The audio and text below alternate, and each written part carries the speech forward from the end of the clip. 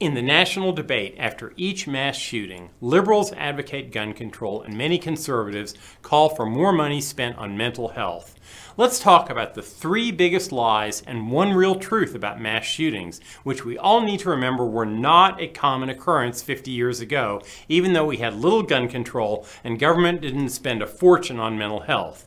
Lie number one the liberals say Americans have no right to own guns. Well, the founding fathers added the Second Amendment to the Constitution to protect citizens from government. The American Bill of Rights was based upon the English Bill of Rights of 1689. Sir William Blackstone described the right to bear arms as supporting the natural rights of self-defense from government oppression. Line number two.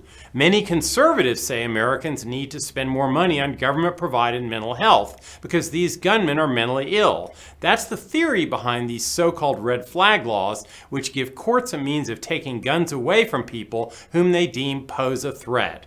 But what does mental illness mean in our modern society? An adolescent angry with the world is a normal child. A person who behaves abnormally due to opioids or other drugs has a brain reacting normally to those chemicals. That's not mental illness. Something else is missing. Line number three, mass shootings are racially motivated.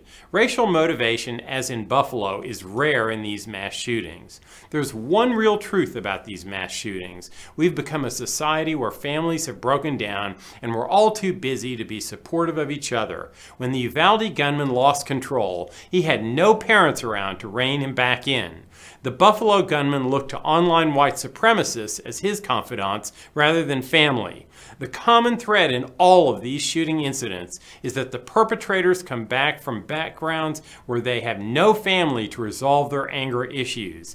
That's the cause for which we must search and the truth we must find, not gun control or spending trillions on mental health or racial indoctrination.